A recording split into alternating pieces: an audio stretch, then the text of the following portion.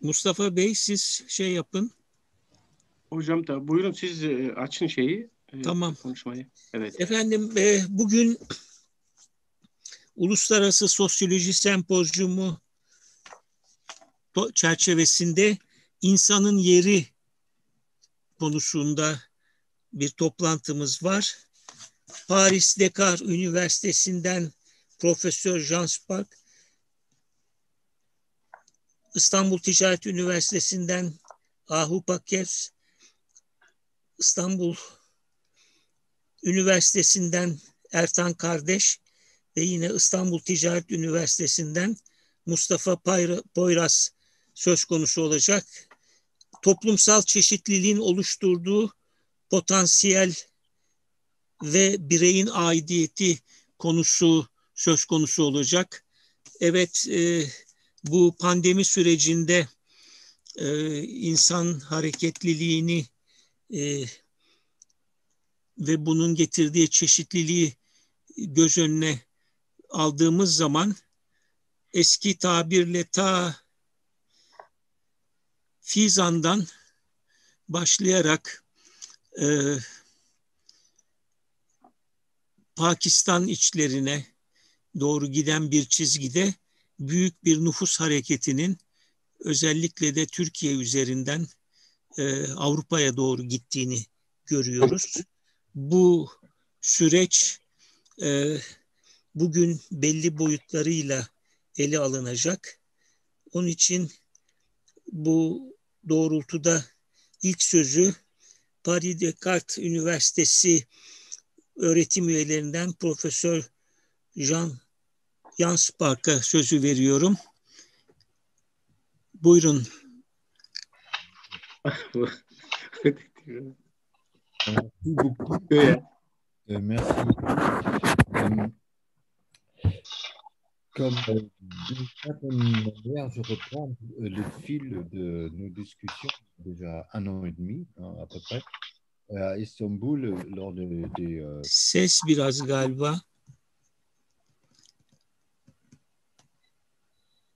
Ses zayıf geliyor. Vas-y, tu peux, ouais, ouais, il faut, euh, voilà, tu peux approcher un peu, voilà. Un peu de... Vous, euh, vous m'entendez? Voilà. Non, je ne comprends pas le problème. Vous ne m'entendez pas? Euh, On entend, mais, on entend, mais faiblement. Faible. Ok, Ouais. euh, attends, attends, je vais monter ça un petit peu. Si tu peux augmenter un peu. Ouais.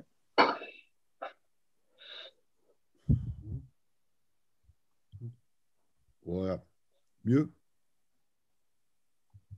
Oui. Mieux. Euh, euh, alors, euh, ce soir, je vais reprendre le fil de- des discussions qu'on a eues il y a presque un an et demi lors des réunions, lors des, des colloques. Moustapha a organisé, dont j'ai le meilleur souvenir. Ces discussions, c'était euh, pour euh, ceux, et beaucoup euh, qui sont là, euh, ont participé. Euh, vous vous souvenez, c'était pour moi en tout cas une sorte d'ouverture, hein, une sorte d'ouverture sur euh, un sujet euh, qui est extrêmement compliqué, euh, qui est compli- euh, donc euh, la migration et le multiculturalisme, euh, un sujet compliqué parce que euh, c'est un sujet qui bouge. On est en pleine d'actualité d'un côté, et de l'autre côté, on a affaire à un, euh, un phénomène structurel de notre société. Euh, donc, je vais reprendre d'une certaine manière euh, de cinq hypothèses et une ouverture euh, qui, vous allez voir, dans quatre sens. Je, je- on traduit jusqu'à maintenant. Ouais. Bir buçuk yıl, bundan bir buçuk yıl önce İstanbul Ticaret Üniversitesi tarafından düzenlenen e, kolokyumda e, çok kültürlülük ve göçmenlik meselesini e, ele e, almıştık. Onun devamı olarak bu sunumu gerçekleştiriyoruz. Bu e, burada beş tane hipotez e, ortaya koymaya çalışacağım. Vas-y. Euh, donc, euh, ces synthèses, euh, euh, au centre de ces synthèses, a le problème, le problème des euh, euh, sociétés contemporaines qui consiste dans le manque d'un projet d'avenir. Le manque d'un projet d'avenir, aussi bien sur le plan collectif que sur le plan politique, si on pense politique dans le sens d'un État, d'un État-nation, mais aussi très souvent euh, dans le sens d'un projet individuel. Birinci nokta e, olarak e, e, günümüz e, çağdaş toplumunda e, gelecekle ilgili bir projenin ortak kolektif bir projenin e, olmaması en önemli problem olarak bu ortaya çıkıyor. Kolektif bir projenin e, oluşturulamaması. Ce constat me mène à la première thèse concernant le projet. Retenons d'abord que le projet, le sens euh, que j'utilise ce mot, les projets visent toujours un avenir meilleur, meilleur que le présent. Et ces projets vers euh, les avenirs meilleurs. C'est possible parce que les acteurs, et non seulement les migrants, les acteurs vivent toujours des manques et des souffrances, qu'ils devraient passer.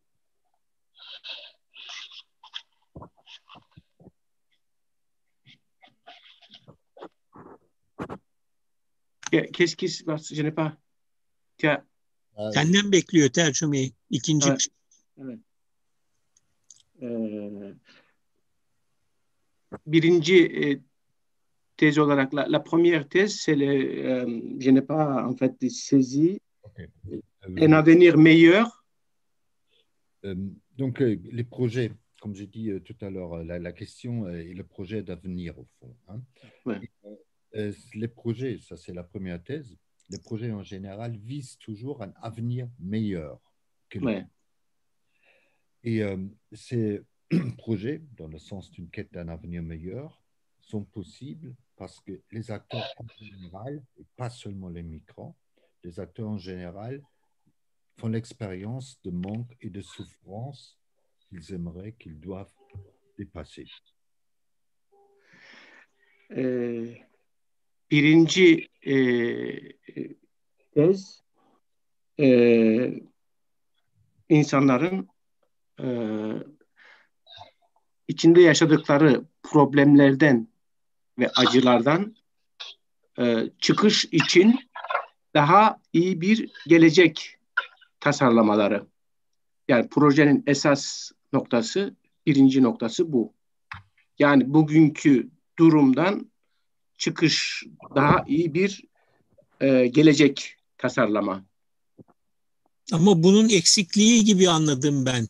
Yani bu gelecek projelerindeki eksikliğin olmasını ileri sürdü sanki.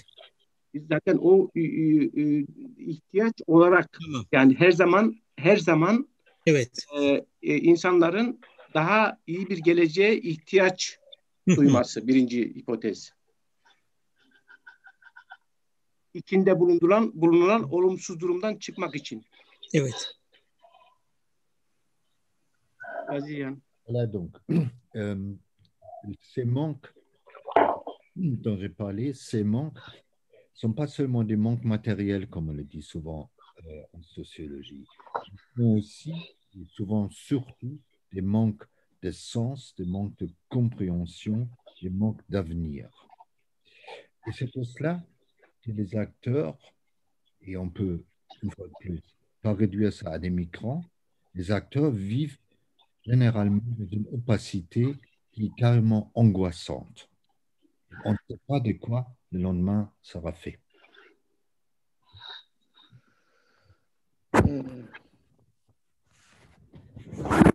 Burada ikinci e, olarak da e,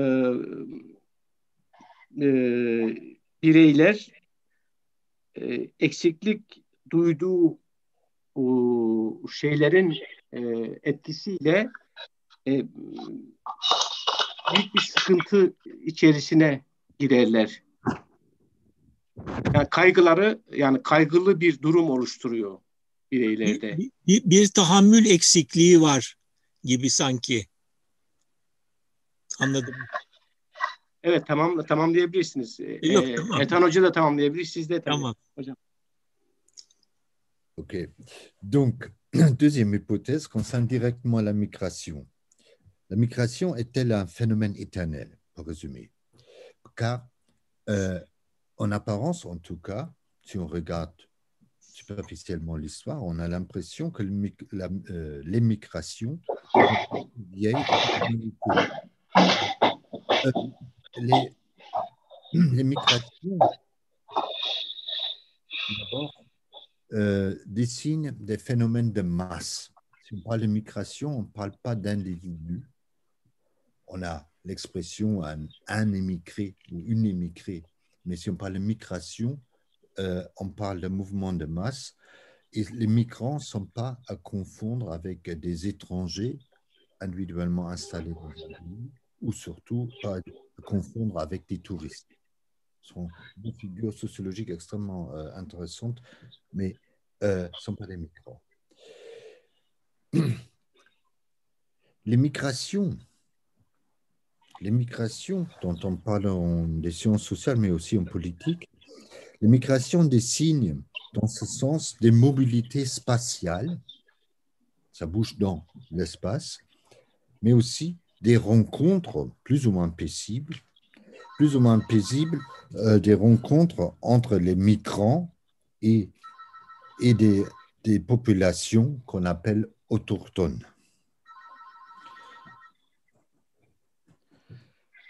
e, burada e, e,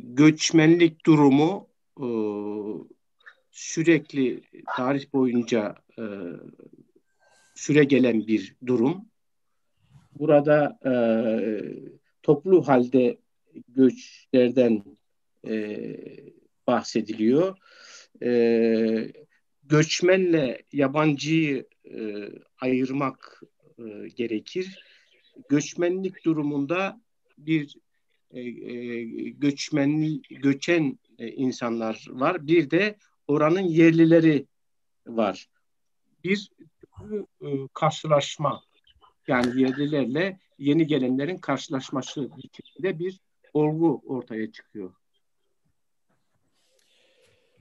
J'insiste sur ce fait qui vous semble peut-être un peu trivial, mais il n'est pas, à mon avis, parce que il y en a, il y a des acteurs qui sont sur un territoire. Ils sont là. Et dans leur vision du monde, mais aussi euh, dans le sens commun, on a l'impression qu'ils ont toujours été là. C'est éternel. Ils sont là, c'est leur pays, c'est leur région, c'est leur ville, c'est leur, ça leur appartient, paraît-il. D'un côté. L'autre côté, les migrants, les migrants sont toujours un peu étranges et un peu étrangers. Ils le sont parce que d'abord, ils viennent de quelque part. Ils ne sont pas issus de ce territoire où ils se, se trouvent physiquement. Ils viennent d'ailleurs.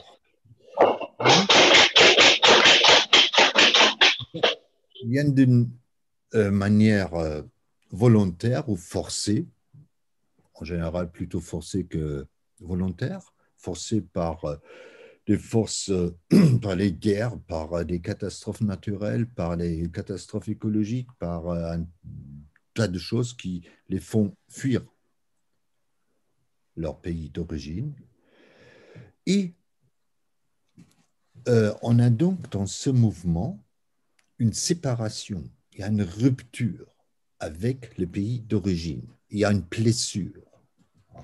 Ces gens comme pour me servir d'une expression d'Adorno, sont abîmés. Ils souffrent. Premier point, en ce qui concerne migrants. Deuxième point, ces migrants, ceux qui arrivent donc sur le territoire des autochtones, sont différents, objectivement différents. Ils disposent de cultures différentes, c'est-à-dire de différentes manières d'être, de se comporter, de penser, mais désormais, ces cultures des migrants coexistent avec la culture des autochtones. Et c'est pour ça qu'on a un de phénomène du multiculturalisme tout au long de l'histoire. Il n'y a pas de pays, il n'y a pas de nation, il n'y a pas de société qui n'ait qu'une seule culture. Il y a culture, il y a des cultures qui dominent, il y en a d'autres qui sont dominées, mais il y a toujours plusieurs cultures. Et les migrants sont porteurs d'une ou de plusieurs cultures qui viennent. Ce n'est pas la seule culture. On, a, on, est toujours dans une situation de euh, multiculturalisme. Göç, e, göç, e, göçmenlerin e, e, bir yandan dışarıdan gelenler var. Bir yandan da e, oraya daha önce bir mekana, bir bölgeye daha önce yerleşmiş yerliler var. Bu yerlilerin e, kendilerini sanki e, hiç e, yani tarihi olarak baştan beri orada e, e oldukları sonsuzdan geldi sonsuzdan beri orada oldukları şekilde bir duygu e, oluşur. Yerli e, e, yabancılar, göçmenler gelirlerken e, zaten göçmenlerin büyük bir kısmı zorunluluktan dolayı gelir. Ya baskılardan ya ekonomik e, zorunluluklardan e, Adorno, Adorno'nun dediği gibi e, bir yanıyla e, bir e, kopuş yaşarlar. Bu kopuştan dolayı da e, e, bir bakıma e, yaralı durumdadırlar. Yani e, e, bir yanıyla e, bir şeyleri e, kaybetmiş e, durumda e, olurlar. Ama bir kültürün taşıyıcısı olarak bir yere geldikten sonra artık oranın yerlileriyle birlikte yaşarlar. Bu birlikte yaşama olgusu tarihin her döneminde olmuştur. Ha, tarihin hiçbir dönemi yoktur ki bu kültürler arasında farklı kültürlerin bir arada yaşama sorunu olmasın. Yani hep birlikte yaşanmıştır. Ma troisième thèse concerne les migrants. Les migrants, la notion des migrants. Et euh, cette euh, expression de migrants réduit des êtres humains qui composent cette, euh, ce phénomène, réduit ces êtres humains à sa fonctionnalité, c'est-à-dire le mouvement d'un lieu vers un autre. Et cette expression est extrêmement abstraite on ne voit pas les euh, êtres humains, les femmes, les hommes, les enfants qui migrent. L'expression est abstraite et parce qu'elle est abstraite, elle rend compatible et interchangeable les migrants dans les quatre coins du monde, mais aussi tout au long de l'histoire. C'est une formalité. Des gens qui bougent sous des conditions qui, évidemment, ne sont jamais exactement les mêmes, mais ce qui intéresse, c'est la fonctionnalité de venir d'un lieu à un autre, de devenir euh, les autres des autochtones, comme on a vu tout à l'heure. Or, or euh, les êtres humains existent, mais ils s'effacent tout comme leur subjectivité.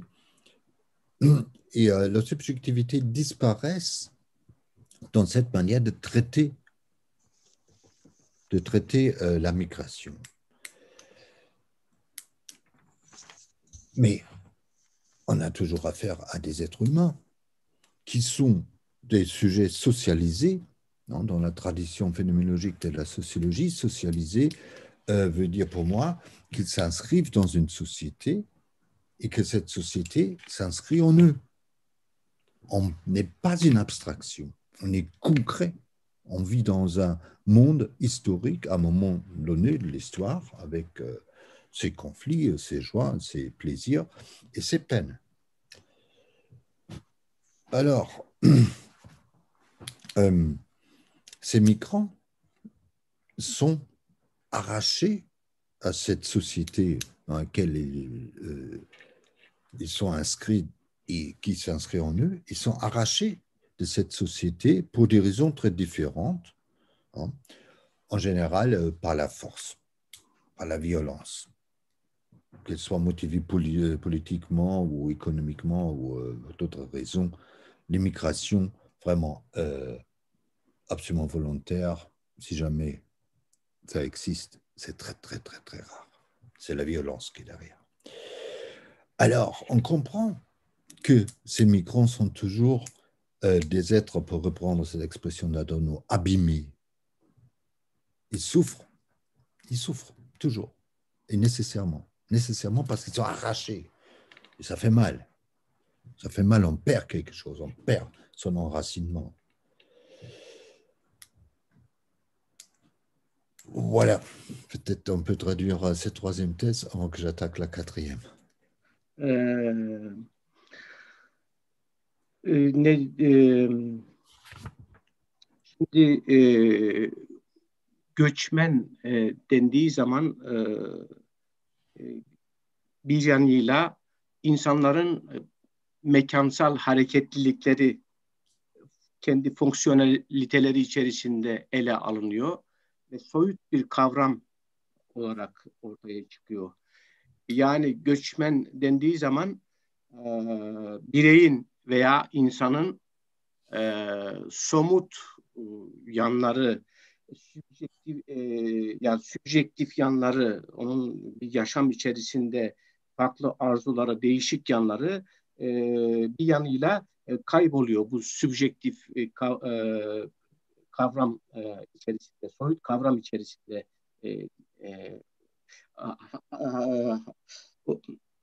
ama e, göçmenin kendisi toplumsal yapının içerisine bütün alışkanlıklarıyla, bütün somutluğuyla e, giriyor ve orada bir yer e, edinmeye e, çalışıyor. Dünyaya girişi. Ya bir yandan biz göçmeni e, soyut bir kavram olarak alıyoruz. Bir e, bireyler yığını gibi gözüküyor. Öbür taraftan da göçmen gerçekten somut hep diğerleriyle birlikte yaşayan, dünyaya giren bir e, e, bir birey, bir insan e, olarak e, yine e, altını çiziyor. Adorno'nun belirttiği e, bu göçmenin e, arkasında yani gelişinin e, kendi köklerinden koparılmasının e, arkasında ciddi bir e, acı çekme, yaralanma e, olayı her zaman e, varlığını e, koruyor o, diye anladım ben. Evet. Oui. OK. Oui. Donc, la quatrième euh, thèse concerne l'identité culturelle. Je, je me penche juste sur un aspect qui me, extrêmement, euh, qui me semble extrêmement important. Si on regarde ces migrants, c'est au cours de la migration c'est au cours de la migration, donc dans le mouvement, qu'ils rencontrent les autres, les autochtones. Je fais abstraction du croisement de deux flux de, migrants, quoi qui compliquerait beaucoup la discussion. C'est-à-dire, ils rencontrent des autres dont ils savent, dont ils constatent qu'ils ne sont pas pareils qu'eux, et vice-versa. C'est-à-dire, ce qu'on appelle euh, l'identité culturelle. Et pour ces acteurs, notre culture, ce qui nous lie, comme nous vivons, comme nous nous comportons, sont nos valeurs,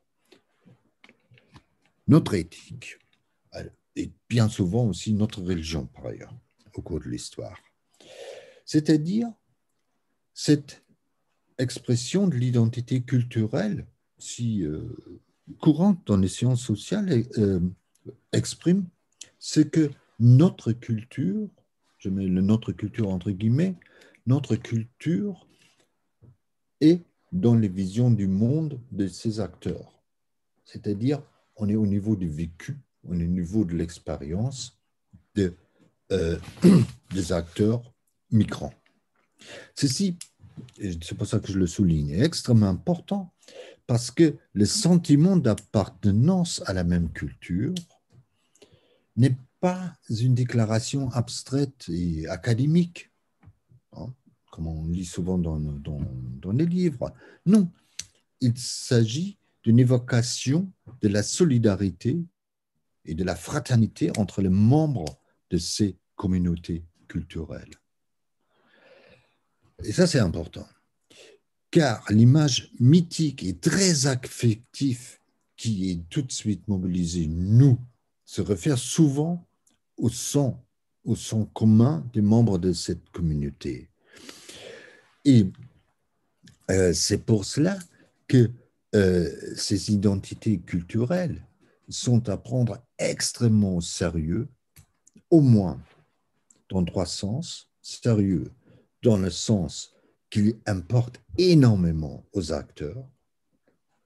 Ils ont un rôle extraordinaire dans la construction du sens pour ces, euh, ces acteurs. Deuxièmement, prendre au sérieux euh, dans la, euh, dans la, dans la projection dans la projection des acteurs, aussi bien dans le passé, parce que si on a le, si le sang commun qui nous lie, on est lié euh, par l'éternité. Ça ne s'efface pas. Mais, pensez ce qu'on a dit dans la première hypothèse sur les projets, aussi dans la projection vers l'avenir, c'est-à-dire l'avenir, notre avenir, est seulement pensable, imaginable qu'un avenir commun de nous contre les autres. Et troisièmement, euh, c'est un aspect qui est plus connu, donc je l'indique juste, on voit aussi des implications politiques de cette euh, constellation hein, qui euh, se produisent dans les quatre coins du monde aussi. Euh, on peut peut-être en revenir dans la discussion. Alors, euh, tu traduis avant que je oui. la, la dernière hypothèse qui est très courte. Ee, dördüncü hipotez olarak e, kültürel kimlik ve e, diğer başkalarıyla kültürel kimliğin başkalarıyla e, başka kimliklerle kültürlerle ilişkiye girme durumu. Burada e, göçmen için e, göçmenler için bizim değerlerimiz, bizim e, düşüncelerimiz, bizim e, dinimiz, bizim yakla, yaşam tarzımız e, diye ortak çok güçlü bir e, aidiyet söz konusu, e, kültürel aidiyet söz konusu. E, bu konuda e, çok dikkatli olmak gerekir. Bu konuya bireylerin, farklı kültürden olan insanların duygularına ve e, yaşam tarzlarına e, önem çok e, fazla önem arz etmek gerekiyor. E, e, çünkü e, bu birleşi, e, birleşik yapı ortak e, tarihten gelen e, bu ortaklık hali, ortak kültürü paylaşma hali e, hiç sonsuza kadar e, yaşayacakmış gibi bir e, durum arz edip e, bireylerin ondan bir anlam çıkarıp e, ona uygun bir şekilde kolektif olarak yeni e, gelecek hazırlama eğilimlerini güçlendirir. E, okay. Siyah, e, si, eksiklik olursa hocalarım tamamlarsınız yani şey evet. Harika hocam çeviri. okay. Donc, euh, la cinquième hypothèse euh, concerne très rapidement euh, le fait euh, du multiculturalisme qu'on a vu tout à l'heure, qui n'a rien d'exceptionnel, loin de là, c'est la norme au fond. Hein. Donc, alors, cette, euh, euh, le multiculturalisme, il y a encore quelques années, hein, c'est assez récent, a toujours été, euh, toujours, souvent, je reprends le toujours, hein, a souvent été euh, décrit comme les situations et euh, des sociétés euh, très multicolore, très différencié, très vivant, très créatif. C'est du fun euh, de, de, la diversité. Or, cette vision du monde multiculturel désenchante, malheureusement, je dois le dire, vous permettez un jugement, désenchante très rapidement parce qu'on est confronté aux fragmentations sociales, ethniques, au communautarisme et aux conflits intercommunautaires qui souvent tournent à la violence et au racisme. Donc le multiculturalisme a de nos jours plutôt cette euh, couleur, si j'ose dire, triste, violente et fataliste. On a l'impression de ne pas pouvoir dépasser euh, cette, euh, cette situation. Et dans le cas plus, le moins violent, disons comme ça, non, on est en présence euh, d'une coexistence plus ou moins paisible de cultures figées, donc qui sont des cultures mortes, qui sont plus enracinées dans la dynamique sociale et intellectuelle euh, d'une communauté euh, dynamique. Donc ces cultures figées, d'un côté, auxquelles correspondent des identités culturelles revendiquées. Je vous épargne des exemples, tout le monde. Euh, on a certainement 25 spontanément en tête. Et ça, c'est une situation assez euh, inquiétante pour moi. Hein. Figée sur le plan culturel, figée sur le plan social, et ça produit de la violence. Donc, euh, et je vais conclure, c'est une conclusion avec ça. Il y a quatre possibilités de développement, à mon avis, de ces situations euh, multiculturelles. J'enchaîne euh, Je traduis si tu veux. Et après, euh, tu peux continuer. Euh, şimdi multikültürel e, yani çok kültürlü e, toplumların e, olması gayet normal bir durum. Bu çok eksepsiyonel bir durum değil. farklı kültürlerin bir arada olması bir toplumsal yapı içerisinde ve bunun da her kültürün de kendini yeniden üretme konusunda kendi değerlerine sadık kalma konusunda gösterdiği çabalar e, toplumsal e, planda belli parçalanmaları, yarılmaları e, getirebiliyor. Ve bu da çok endişe verici bir durum. Özellikle endişe verici olduğunun altını çizerek e, bu sabitlenmiş kültür e, e sabitlenmiş kültürlerin bir arada e, olması ve bu e, toplumsal e, yarılma e, bir yanıyla e, şiddeti e, ve e, e, karşılıklı rekabet ortamını doğuruyor. Bunun karşısında e, dört tane e, e, imkan diyelim e, veya e, imkanlar e, yığını e, olabilir. Vas-y.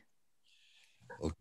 Yani, euh, plutôt pour terminer, pour conclure, parce que c'est plutôt une ouverture, quatre possibilités, quatre directions, disons comme ça, de développement euh, possible, d'avenir possible dans cette situation multiculturelle, je me répète, que je que j'interprète comme des situations particulièrement dures, bloquées, euh, fatalistes.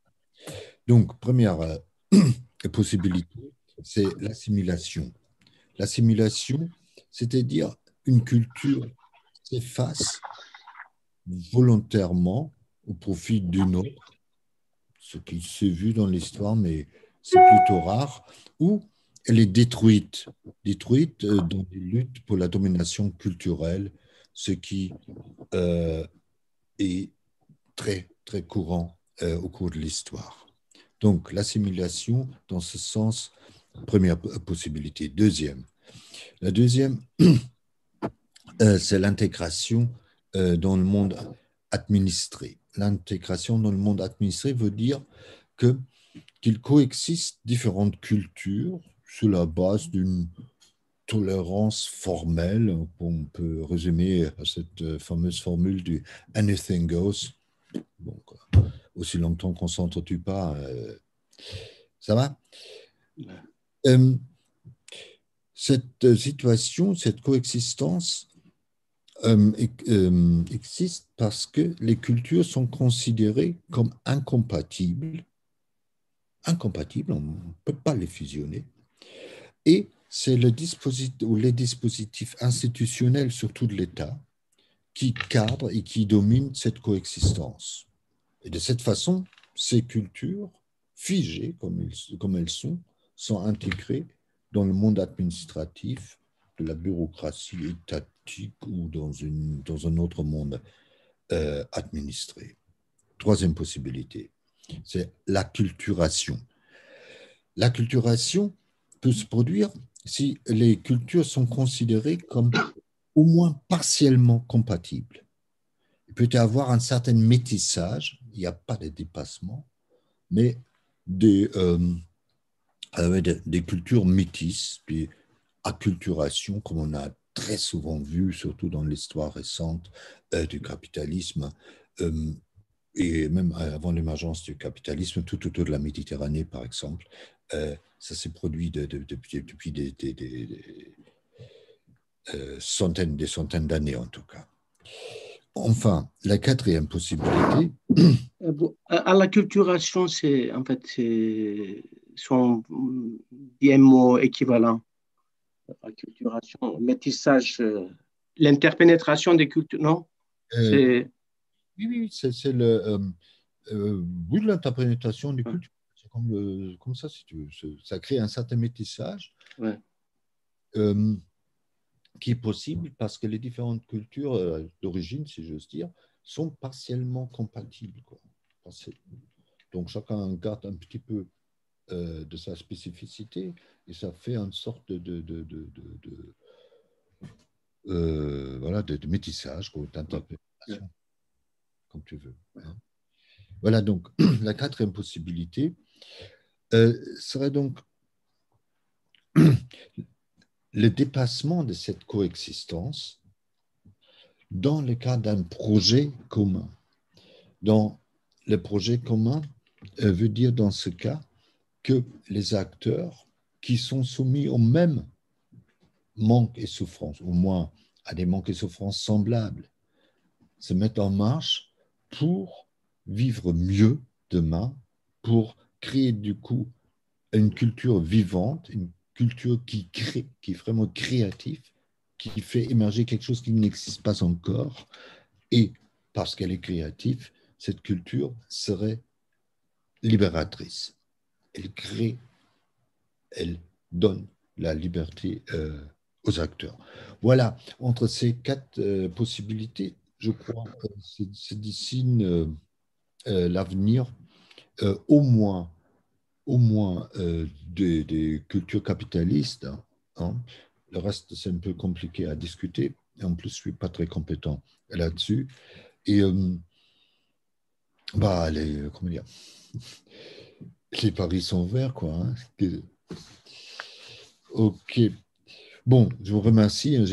C'était un peu, comment dire, un peu formel, mais je, hum pense euh, c'est plus facile à comprendre dans la traduction quoi, qu'un exposé euh, euh, comment dire, sans interruption.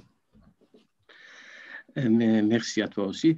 Et je vais traduire. E, e, dört tane imkan ilişkin gözüküyor bu sıkışmışlık durumunda.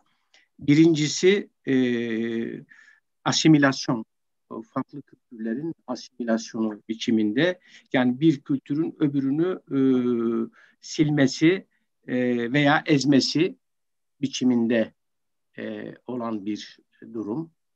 Yani, kült, yani bir kültürün başka bir kültür içerisinde kaybolması veya e, baskıyla ezilerek kaybolması bir türlü e, yani kaybolması diyebiliriz. İkincisi entegrasyon e, durumu. E, bir az çok uyumlu kültürel e, e grupların e, toleranslı az çok to, toleranslı bir durum bir arada olmaları ve bu bir arada olmayı da garanti altına alan kurumlar, devlet veya başka kurumlar yani kültürler bir arada var oluyorlar ama e, kurumlar onun garantisi e, oluyor. E, e, herhangi bir sorunun e, olmaması açısından. E, üçüncüsü akültürasyon dedi. Akültürasyonda metisaj yani e, kültürlerin e, karışarak e, karışma durumu e, şeklinde e, ifade etti. Dördüncüsü de e, depasman dediği yani e, var olan durumun yani kü, farklı kültürlerin oldukları durumudan çıkarak e, kendi karşılıklı etkileşimleri içerisinde daha farklı bir kültürü herkesin acılarını ve e, sıkıntılarını da e, dikkate alarak farklı ve yaratıcı bir kültürel yapının e, oluşturması ve özgürleştirici e, yani hem kültürleri hem de bireyleri özgürleştirici daha farklı bir e, durumun e, ortaya çıkması şeklinde e, sonuçlandırıyor. Ya yani bunu e, sunumu çok formel yaptım. E, çevirisi kolay olsun diye. Yoksa söylenecek çok daha farklı şeyler var diye de belirtmeyi e, ihmal etmedi ve teşekkür ediyor.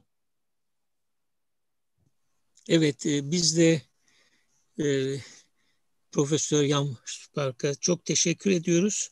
İlgi çekici bir biçimde konuları bağladı ve bizim önümüze getirdi. E, iyi bir başlangıç, e, bir açış konuşması oldu. E, kendisine teşekkür ediyoruz.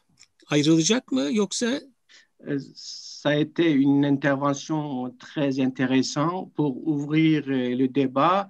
Euh, ça a été très synthétique et explicatif. voilà. On te remercie. Est-ce qu'il il demande si tu veux rester ah, si, ne suis, pas très pressé. Hein. Euh, si on peut échanger sur mes cinq euh, thèses. Euh, e, şey varsa e, soru falan varsa şey, e, yani şu anda üzerinde konuşulacak bir acil bir soru gelmişse soru varsa konuşulabilir diyor. Böyle soruları biz görebiliyor muyuz bilmiyorum. Burada bir chat yazıyor, bir işareti benim şeyimde gözüküyor ama nedir o bilmiyorum. Yok herhalde öyle bir şey. E, bu durumda e, on te laisse e, le choix e, Yann. E, en fait, si tu... Euh, oh, il est déjà 18h47, je vois, et euh, il y a encore d'autres contributions. Oui, effectivement. Bien ouais. compris. Euh, non, j'ai pas remarqué qu'il était déjà si tard. Euh, non, je, je vous propose autre chose parce que cette situation avec la Covid devrait quand même tôt ou tard, ou je ne sais pas quand, mais un jour se terminer.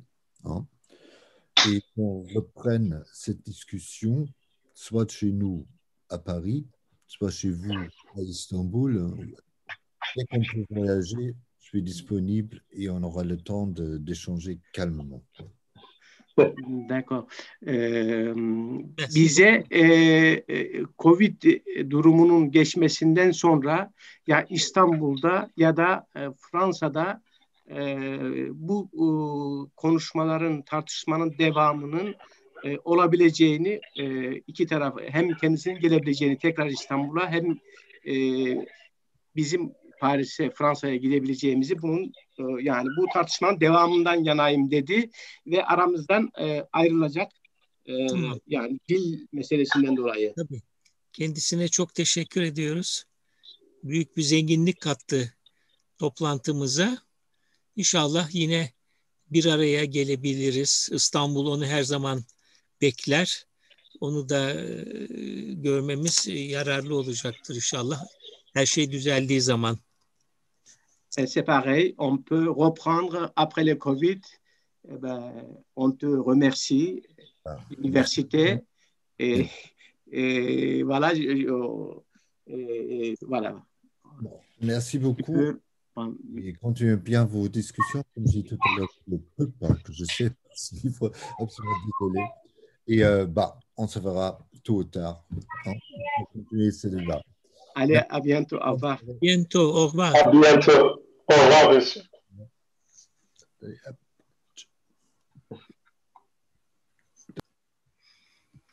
Evet. Şimdi o zaman e, bizim önceden çizmiş olduğumuz çerçeve dahilinde e, Ahu Paköz Türkiye'li bir sunumda bulunacak. Çalışmaları konusunda ve sonuçları konusunda bizi bilgilendirecek. Şimdi zamanımız 9'a 10 var. Demek ki 8'den şeye 50 dakikamızı aldı. Yas bak.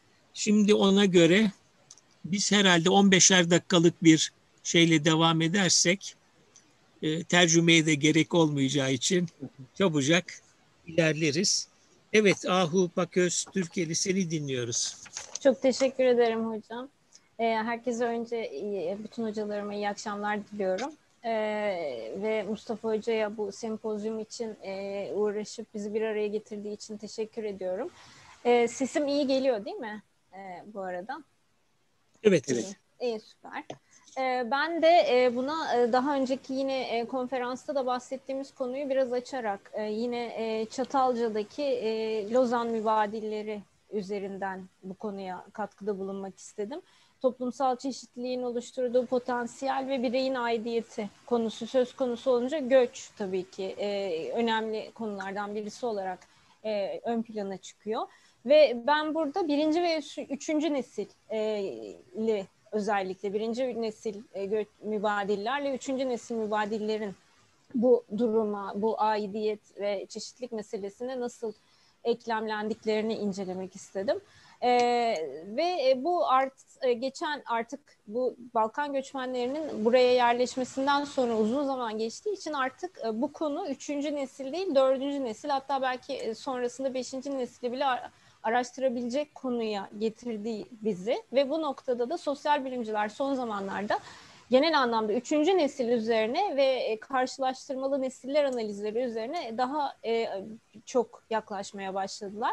Ve e, demin e, Jean Spark hocamızın da söylediği gibi göç zaten dünya tarihinde en hep anahtar elemanlardan birisi olmuş bütün şeyler kurulurken ve e, göçün dünyanın bir köşesinde önemli bir etkisinin olmadığı bir yer herhalde düşünülemez.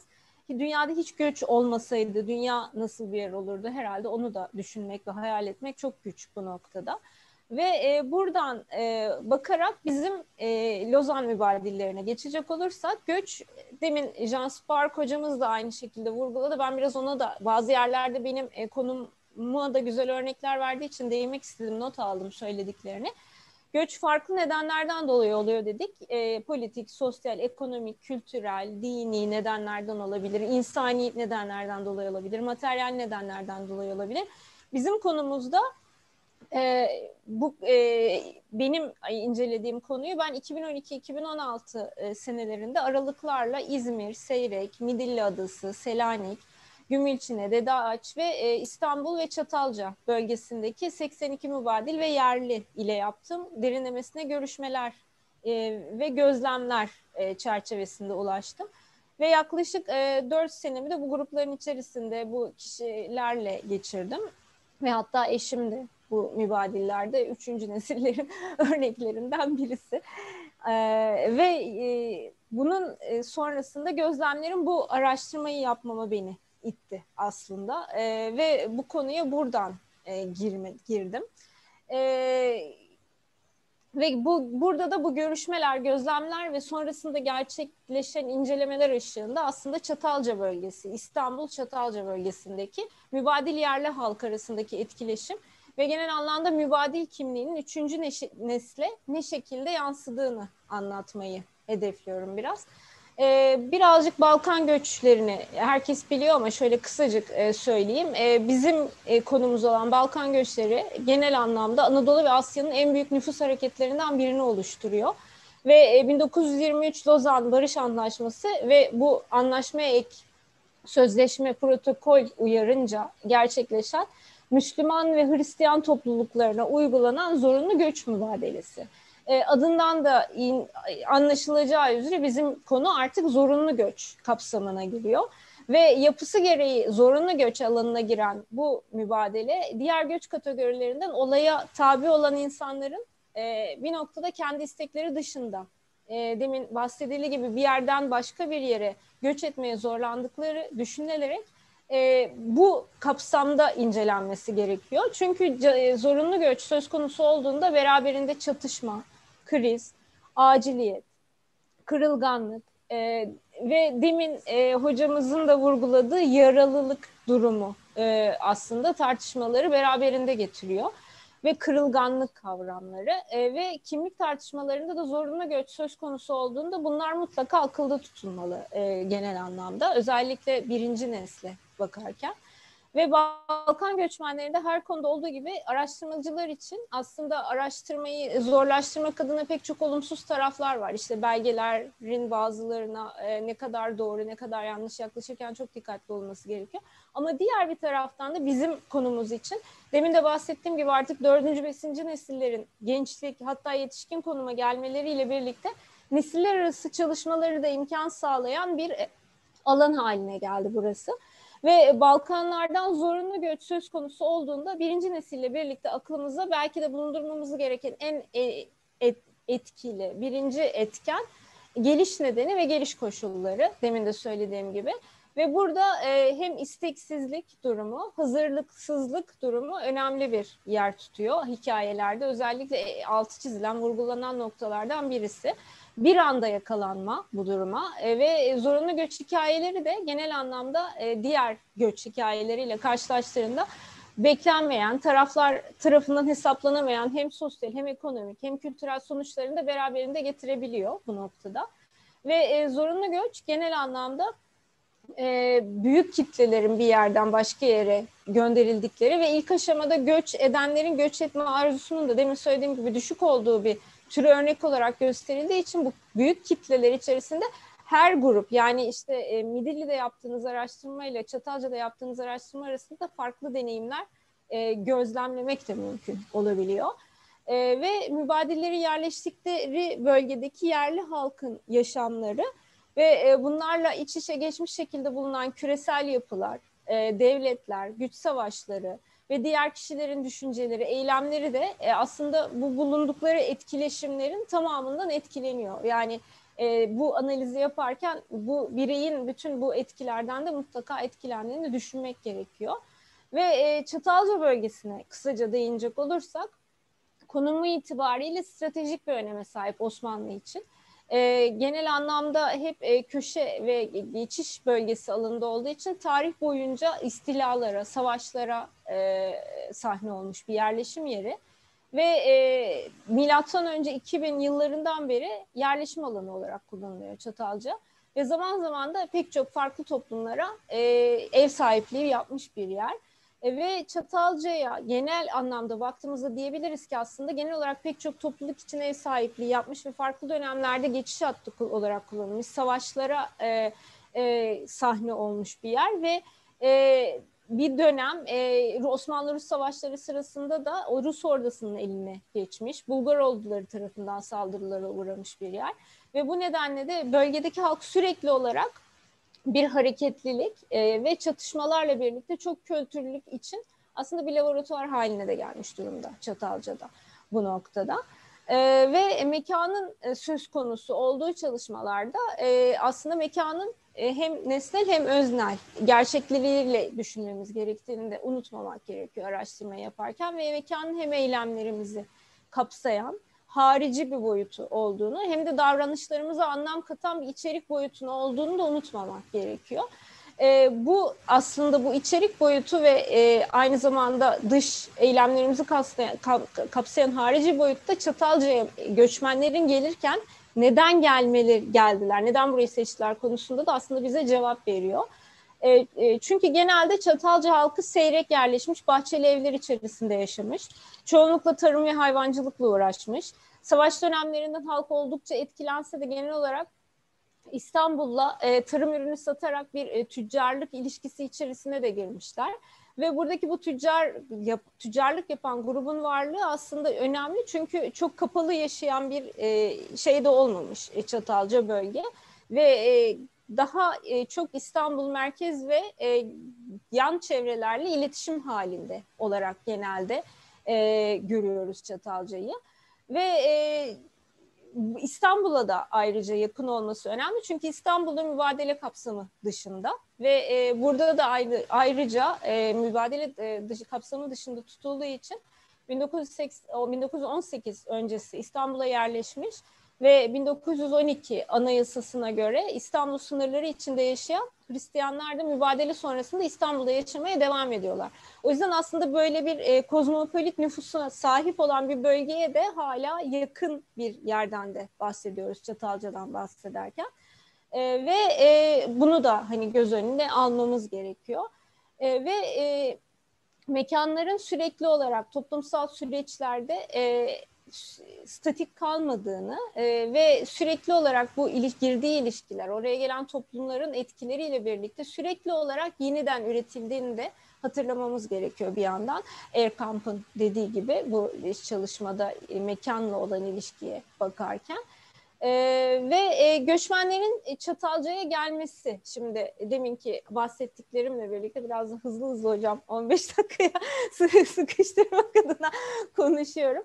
Şimdi göçmenlerin e, Çatalca'ya gelme noktasına da gelirsek deminki bahsettiğim koşullar da göz önüne alınırsa hani evlerin durumu, e, seyrek yerleşme, coğrafi koşullar, iklim ve toprak yapısı e, verimli toprak yapısı genel anlamda yer seçiminde önemli bir rol oynamış e, mübadilleri buraya gelirken. Çünkü ilk başta mübadiller buraya yerleştirilmiyorlar. E, ilk getirildikleri yer Mimar Sinan bölgesi.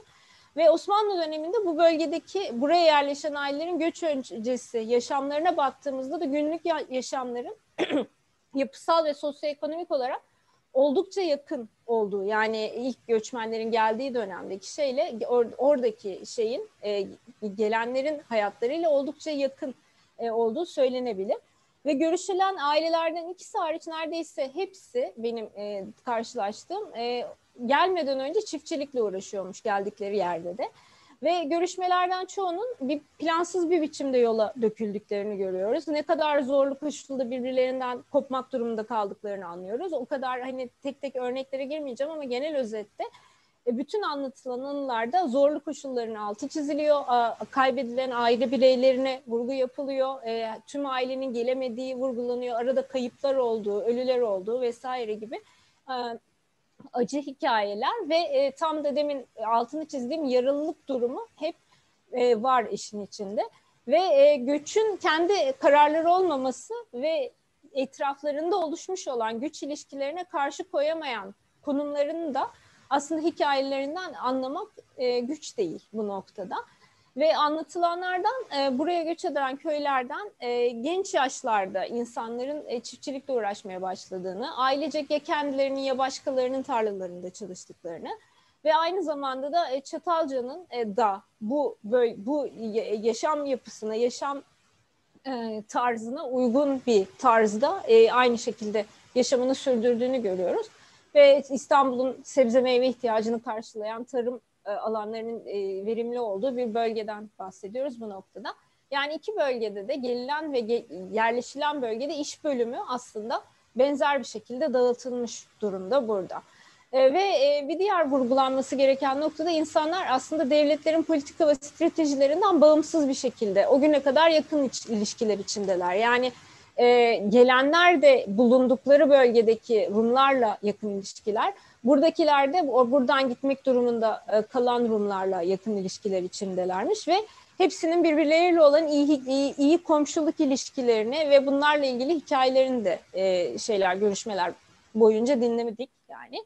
Ve birbirine de birbirlerine yakın dostluklar besleyen, çocukluktan beri bir arada büyüyüp çoğu şeyi paylaşan iki topluluktan e, etraflarında sürdürülmekte olan bu genel politikalar ve hareketlenmeler sonunda bir anda e, birbirine karşı getirildiklerini ve birbirine ve e, yerlerinden kendi e, bulundukları mekanlarından koparılmak e, durumunda kaldıklarını görüyoruz burada. E, ve diğer taraftan bakıldığında Çatalca'nın yerli halkı için aslında gelen mübadiller geldikten sonra aslında gidenlerden daha da yabancı. Hani bu yabancılık konumuna bakılacak olursa. E, çünkü e, Çatalca örneğinde ilk dikkati çeken nokta dil konusu. E, geldikleri tarihte çoğu mübadil Türkçe konuşmayı bilmiyor. Ve e, Türkçe konuşan mübadillerden farklı olarak Rumca konuşan bu gelen mübadillere de e, Patriot deniyor. Ve e, özellikle bunlar genel anlamda Nasliç, Grebne, Kozana, Serfice ve Yanya bölgesinden göç eden ve e, geldikleri yerde de günlük hayatlarında Rumca konuşan Müslüman mübadillere verilen bir isim. E, ve bu dil farklılığı ilk e, aşamada e, çok büyük e, bir e, şey yaratıyor aslında yeni gelen yer e, yeni gelenlerle yerli halk arasında. Çünkü bu noktada artık e, hani hayatını sürdürmek, girmek gir ve e, yaşamak için girdiği noktada dilin e, önemini anlamak mümkün ve dilin neden olduğu durumlara iyi bir örnekte e, Yanya bölgesinden gelen üçüncü bir nesil bir mübadilin söylemi. Diyor ki e, e, onu okuyacağım bulabilirsem. Diyor ki mübadele komisyonu gelenleri karşılayıp ailelere verilecek olan evlerin adreslerini dağıtıyor Annem verilen adrese gittiklerinde evin gerçek sahibi olan Rum aileden büyük bir hüzünle anahtarı teslim alıyorlar. Yani onlar çıkıyor, bunlar giriyorlar ve aile bireylerinin hiçbiri Türkçe bilmiyor. E, iş yok. E, Türkçe bilmedikleri için komşuluk ilişkileri de ilk aşamada geliştirilemiyor. E, ve sadece Yanya'dan gelen insanlarla birlikte olabiliyorlar. Yani aslında bir noktada her ne kadar yakın yerlerde olsalar da yerlilerle dil meselesi yüzünden e, bir süre boyunca e, sanki arada bir sınır varmış gibi hareket ettikleri söylenilebilir bu noktada. Ve e, e şeyi de vurgulamak lazım ama Çatalca'ya göç eden mübadillerin tamamı da patriot değil. Yani hepsi Rumca konuşan şey değil, e, mübadiller değil. Drama ve Selanik ve benzeri Türkçe konuşan yerleşim yerlerinden gelenler de bu bölgeye iskan edilmiş durumda. Ama e, biz bizzat e, dikkat çekici bir şekilde bazı köyler e, hakikaten homojen bir şekilde patriot köyü halinde kurulmuş ve geldikleri noktada e, özellikle mesela bu, burada Elbasan köyü önemli bir örnek olarak verilebilir. E, hiç Türkçe konuşan kişiyle karşılaşmamışlar bile ve bu Elbasan köyü görüşmeleri özellikle diğer mekanlardan farklı olarak buraya yerleşen, göç eden insanların eski evlerinde de neredeyse komşuluk yapmış kişilerin yan yana Elbasan'a göç ettiklerini görüyoruz ve bu onların ilk geldiği süreçte aslında daha rahat hareket etmelerini sağlamış. Neredeyse kendi köylerinde gibi. Yandaki komşuları da oraya gelmiş durumda. İşte e, göç sürecinin geçirdiği şeyler dışında oraya alışmak vesaire durumları yerlilerle iletişim bu noktada biraz daha geçe aktarılmış. Çünkü kendi kendine yeterlilik durumu söz konusu o köy için. Ve diğerlerine baktığınızda da genel anlamda güven ve güvenlik burada bence önemli olarak, e, önemli kavramlar olarak e, şeye çıkıyor. İlk nesil ikinci nesiliyle karşılaştığında güven ve tutunma noktası aslında birbirleriyle kesişen ve tutumlarda farklılık yaratan bir etken olarak ön plana çıkıyor. E, demin e, şey demişti e, Jean Spark, problem e, ve acıdan çıkış için daha iyi bir gelecek için tasarlamadan bahsetmişti. Burada da aynı şeyle tabii ki geliyorlar. Yani gelip burada oradaki problemlerinden kopup burada daha güvenli, daha iyi bir gelecek e, umuduyla geliyorlar. Ama bir noktaya kadar da geri gitme şeyleri de var kafada e, ilk neslin. E, ilk 10 ilk 10 sene e, bu savaş bitecek ve biz geri evlerimize gideceğiz düşüncesi e, bu e, kök mekana kavuşabilme düşüncesi var e, birinci neslin e, kafasında. Bunu yaptıkları yatırımlardan falan da anlıyorsunuz. Ve zorunlu göçte kök mekanlardan edilme nedenlerinden biri olarak da artık yerleşim yerlerinin savaş sonrası yeni koşulları nedeniyle aslında e, oranın Müslüman halkı için görün, güvenli görünmemesi bunların oraya aktarılma nedeni ve geldikleri bölgede ilk olarak bakabil, baktıkları şey güvenli e, ve tutunabilecekleri bir yer ve tutunmakla şey tabii ki iş yapabilecekleri bir yer arayışındalar. Bu noktada neden Mimar Sinan bölgesi olmadı ya cevap veriliyor ve e, Mimar Sinan deniz kenarında ve geldikleri yerler bizim bahsettiğimiz Nasliç, Kozana bölgeleri deniz kenarı değil. İklim açısından daha soğuk, daha e, ağır e, iklim şey yapıyor ve toprağa verimli dediğimiz gibi. Mimar Sinan'da tarımla uğraşmak mümkün değil. Ve Mimar Sinan'a geldiklerinde e, oranın deniz kenarında olması onlar için tekinsiz gelen noktalardan birisi. Çünkü çocukları için e, denizin güvenli olmadığını düşünüyorlar. Genel anlamda denizle iletişimi bilmedikleri için denizden korkuyorlar bu noktada. Ve e, bu kararla birlikte Mimar Sinan'ın biraz yukarısında Çatalca bölgesinin onların tam geldikleri bölgeye hem iklim hem coğrafi bölge olarak daha yakın olduğunu düşündükleri için orada tutunabileceklerini ve orada daha güvende olabileceklerini düşündükleri için o bölgeye geçmeyi e, tercih ediyorlar ve burada e, şeyde e, göç ilişkilerine baktığınızda sonradan gelen mübadiller için akraba ve aile ilişkilerine göre yani ilk gelen bu mübadillerin bu tavrı daha sonrasında gelen mübadilleri de etkileyip e, bu bölgede diğer göçmenlerin de yani mübadillerin de yoğunlaşmasını sağlıyor. Ee, ve göç akraba ve aile ilişkileri ya da tanıdık ilişkilerine göre oraya doğru kaymaya başlıyor. Ee, sonradan gelenler de ilk olarak belki farklı yerlere gönderilmiş olsalar bile sonradan Çatalca bölgesine geçmeyi tercih ediyorlar. Ee, ve e, bu durumun kurulabildiği... Vaktimiz, vaktimiz geliyor, geldi. Tamam. Az, a, tamam az kaldı hocam e, ve bu durumun kurulabildiği gruplarda göçmenlerde ilk yıllarda bu durum sosyal ve kültürel bir güven ve yakınlık sağladığı için aslında ya, akraba yakınına yerleşme adaptasyon sürecinde daha az sancılı geçirmelerini sağlıyor. Ve genel anlamda e, Rumların boşaldığı evleri yerleştiriyorlar. Ve e, bu da adaptasyon sürecini bir noktaya kadar kolaylaştıran ilk başta şeylerden birisi oluyor. Çünkü hazır bir eve yerleşmiş oluyorlar. Ama tabii ki gelen göçmenlerin sayısı çok olduğu için bu evlerde çok fazla aile bir arada da ilk aşamada yaşanmak durumunda kalabiliyor. Ve e, e, demin de bahsettiğim gibi bazıları bu durumu geçici bir durum olarak gördükleri için genel anlamda e, bu yerleşim yeri e, mekanını geçici bir yerleşim yeri olarak an, algılıyorlar ilk başta. Ama sonrasında 10 yıllık bir dönem sonrasında bu geçici olarak görülen mekanın artık bir vatana onlar için dönüştüğünü görüyoruz. Ve bunun e, yine yapılan birikim ve tasarruflardan da artık o bölgeden e, a, ev, toprak almaya başlamalarından da anlayabiliyoruz bu noktada. Ve e, tekrar göç dönemini sürecek olursak bu Türkçe bilmeme noktası e, aradaki dil meselesinin öteki olarak kurulmasını da sağlıyor birinci nesil için. Ve e, hem yerli grup hem de mübadiller için en önemli etkenlerden birisi dil meselesi bu noktada. Ve e, yerli halk için de bu dil meselesi onların yabancı olarak görülmesini hatta bazı durumlarda Müslüman olmadıklarını düşünmelerini sağlıyor. Ve e, bu yerde pek çok göç vakasında iddia edilebileceği gibi aynı zamanda göçmenlerin şeyinden de bahsetmek lazım. İlk dönemde gelenlerin, göçmenlerin hiçbir birikmiş... E, Diğerlerine zaman kalmayacak. 20 tamam hocam.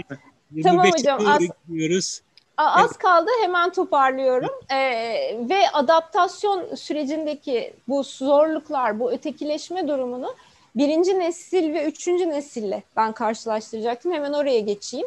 E, demin bahsettiğim gibi ötekileştirme, bu travmalar, bu e, uzun süre e, bir sessizliğe neden oluyor birinci nesilde. Anıların aktarılmamasını sağlıyor genel anlamda.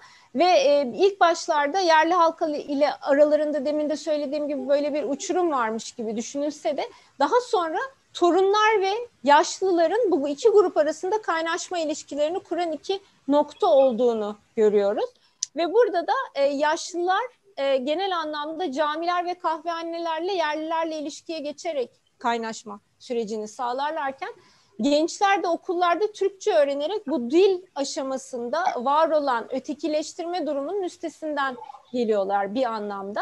Ve e, bir diğer mesele de e, ilk gelen e, bu mes- e, ilk gelen göçmenlerin anlatmama, gizleme durumunu üçüncü e, nesile geldiğimizde var olan ve değişen e, zamanın getirdiği e, farklı e, bu şeylerle birlikte e, e, teknik olanaklarla birlikte üçüncü neslin bu aradaki anlatılmayan birinci neslin sakladığı anıları ulaşıp e, orada e, didikleyip bulma imkanı olduğunu görüyoruz.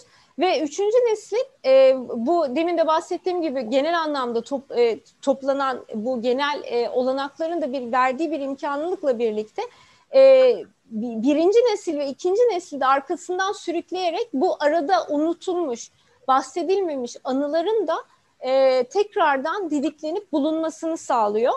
Ve e, buna bir örnek verip en son bitiriyorum e, son cümlem.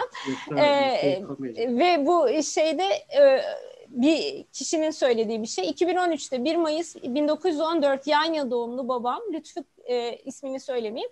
Bizler onun 100. yaşını doğduğu şehirde kutlamak üzere kendisine eşlik eden onlarca kişiyle birlikte Yanya'ya gittik diyor. Hem Yanya hem Selanik'te kaldığımız her gece şarkılar, türküler, halaylı eşliğinde doğum günü kutlaması yaptık.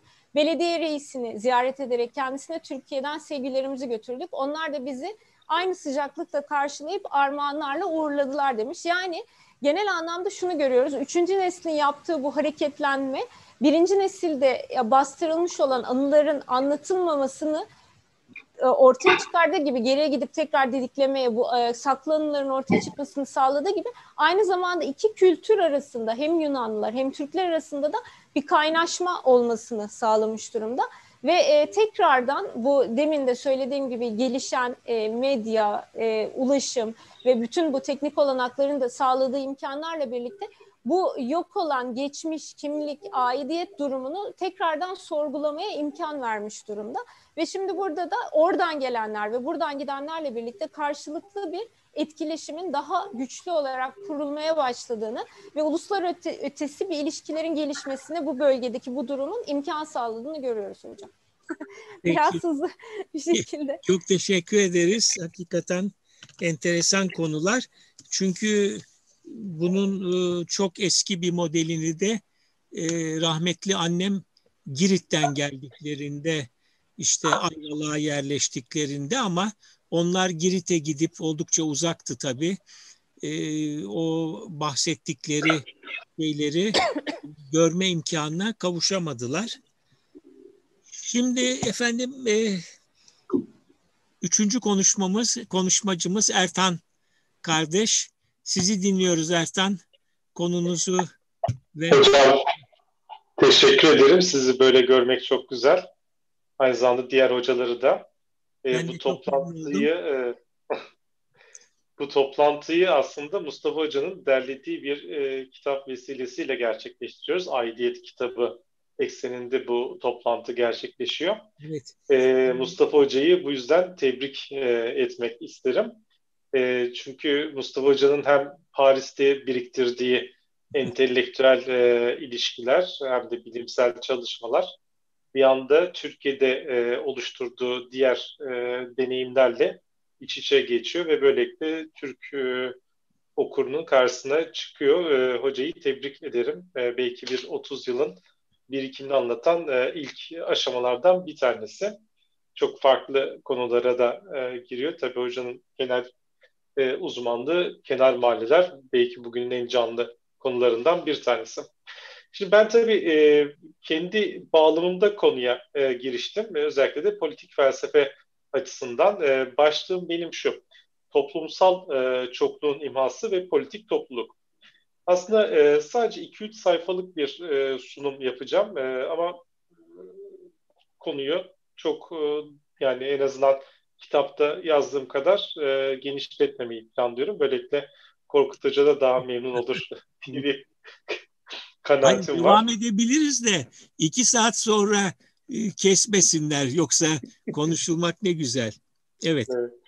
Belki hani sonrasına erteleyebiliriz. Ben e, basitçe aslında Mustafa Hoca'nın açtığı problematiğe yanıt vermeye e, çalıştım. E, bu e, Jan da e, söylediği üzere bir buçuk sene önce Ticaret Üniversitesi'nde yaptığımız bir toplantının e, neticesinde bu konu tartışıldı.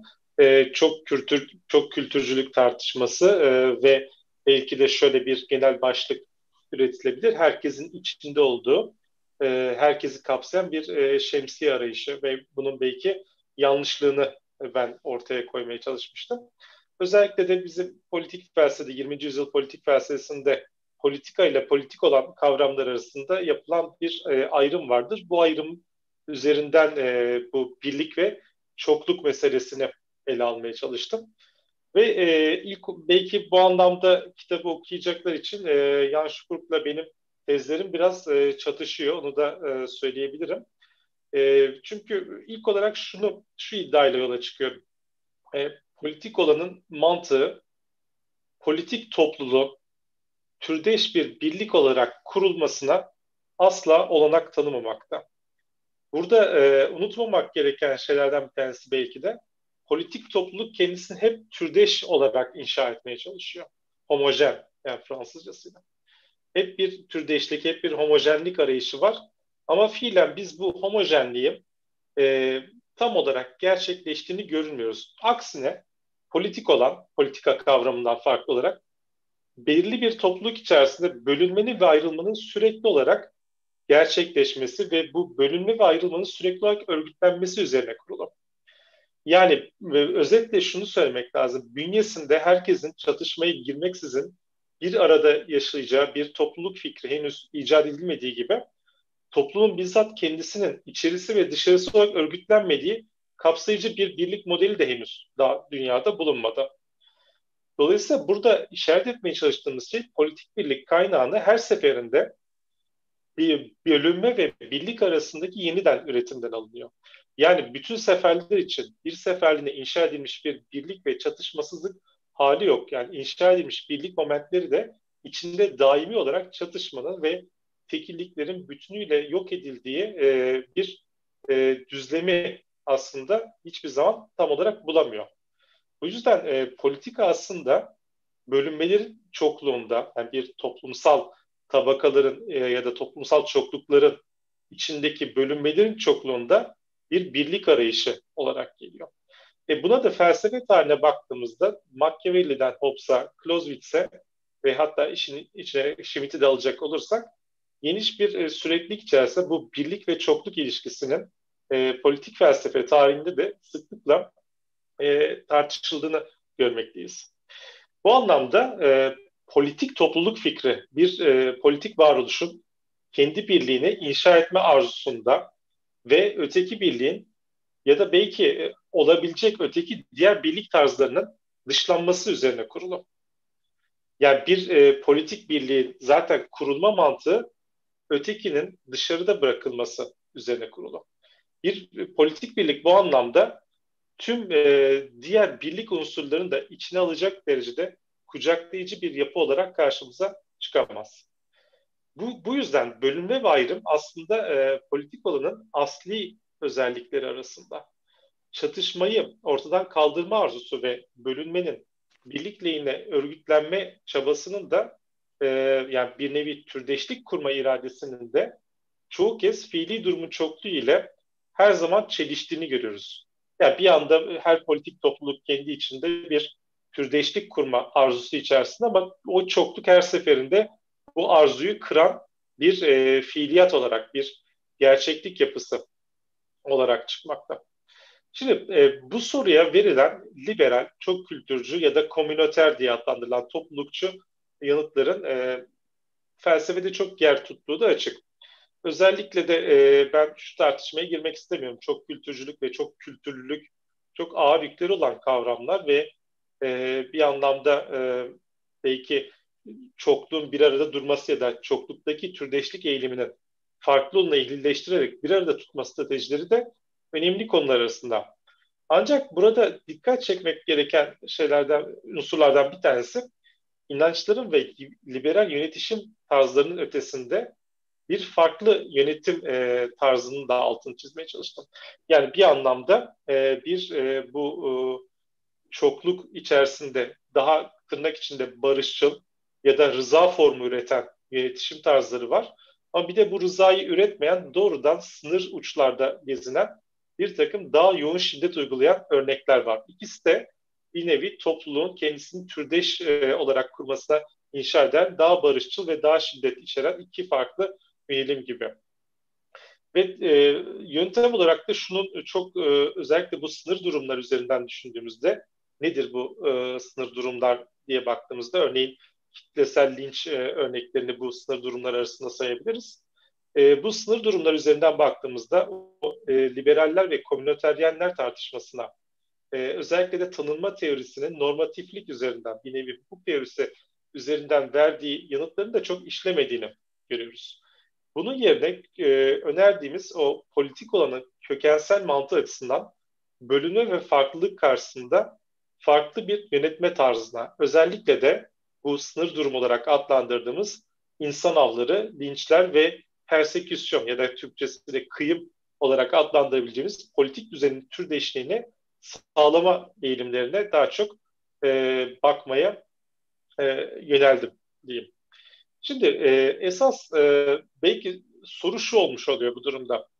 Madem ki e, politika e, kendisine bir türdeş birlik arzusu olarak e, kendisine bir yön tayin ediyor. Ama hep bulduğu da karşısına bir çokluk durumu karşımıza çıkmakta. E, nasıl e, bu durum gerçekleşecek? Eğer bölünme politik olan işleyişi açısından temel bir konudaysa o zaman politikada bölen unsurların bizzat kendisi aynı zamanda birliğin de imkanları arasında yer alır. Çokluk birliği inşa sürecinin hem imkanı hem de onu imkansız kılan özellik olarak belirmekte. İşte böyle baktığımız zaman bir politik düzenin çokluğu imhaya yönelmesi, bu imhanın kendi kimlik ve yönetme sürecine sirayet etmesiyle de sonuçlanır. Burada özellikle e, Paul Ricoeur'ün e, Macar deneyimi etrafında kaleme aldığı e, yazılarda geliştirdiği bir e, kavram e, ağından faydalanmak istiyorum. E, dikey ve yatay ilişkilerden bahseden Paul. Bu anlamda bir politik düzen e, hem dikey ilişkiler üretir hem de yatay ilişkiler üretir. Sadece e, belki e, birçok sosyolog sadece yatay ilişkileri görmek istiyor. Fakat e, buradaki dikey ilişkilerin de varlığı oldukça belirleyici oluyor. İşte bu anlamda bu ilişkiler de belirli bir iktidar uygulamaları yumağını getirmekte. Yani özetle toplumsalı çoklukta düşünmek, iktidar uygulamalarının sonucu olarak toplumsalı anlamayı değil, bizzat bu uygulamalarla toplumsalı kavramayı gerektirir. Yani bir e, politik olan bir de toplumsal olan var diye ayırmak yerine buradaki toplumsalın da bu dikey ilişkilerle nasıl kurulabileceğine dair bir perspektifi de gözetmemiz gerekiyor. İşte e, politikanın zorluğu toplumsalın bağrındaki bu kökensel örgütlenmede yatıyor. Politika bir yandan toplumsalın bağrında örgütlenir, diğer yandan da yatay ve dikey ilişkilerin sonucu olarak sadece toplumsalın kendi gerçekliğine indirgenemeyecek bir fazlalık olarak çıkıyor. İşte politika toplumsal düzenle birlikte çoğu kez de onu aşan bir şekilde toplumsalın işletilmesinin hali olarak gelmekte. Ee, ve dediğim gibi ben daha çok işte bu insan avı, linç pratiği ve kıyım süreçlerine odaklandım. Ve e, şöyle bir kısa ve hızlı da bir e, sonuç anına e, gelirsem e, Korkut Hoca'yı da daha e, çok memnun etmiş olabilirim diye düşünüyorum. E, yani bu üç tane sınır örneğini e, ele aldıktan sonra. E, yani işte bütün bu insan avı, linç e, girişimleri, e, genel olarak perseküsyonun her türü kıyım mantığı diye çevirelim. Sonuçta şunun üzerine e, kurulu bir e, yapı olarak karşımıza çıkıyor. E, politik arzu olarak türdeşlik kurma arzusunun çok şiddetli bir versiyonu. Çok şiddetli olarak türdeşliği sağlamaya çalışıyor. Ancak sonuç olarak baktığımızda bu şiddetin bizzat kendisi hem e, politik birliği sağlayamıyor hem de kendisini e, olduğunu varsaydığı diğer bölünme unsurları gibi daha yeni ve daha radikal bir bölünme şekli olarak çıkarıyor. O yüzden e, politik topluluktaki çokluk ve bölünmenin birlikle yine e, örgütlenmesini bir politik arzu olarak yorumlayacak olursak, birlik fikrinin çor, çokluk ve e, bölünmenin kendisini imha etmeye çalışmasına başka bir yıkıcı arzu olarak değerlendirmek belki yerinde olabilir. İşte bu ikinci arzunun yani tam da bu sınır durumlarda örneğin insan avlarında karşımıza çıkan bu ikinci arzunun çelişkisi kendi iktidar mantığına sirayet etmekten. Birlik ve beraberlik adına tüm birlik ve beraberlik bağlarının sürekli olarak yok edildiği bir durumun ortaya çıkması. O halde bu türdeşlik arzusunun çelişkisi bölünmeyi ortadan kaldırmaya çalışırken, sözde bölünmeyi ortadan kaldırmaya çalışırken yeni bölünmeler yaratmakta ve bu yeni bölünmeler artık bir politik bölünme olarak çıkmamakta. Tam tersine güç ve şiddet pratiklerinin e, gündelik yaşamda daha fazla radikalleşmesi üzerine e, gelmektedir diyeyim kısaca e, özetleyecek olursam.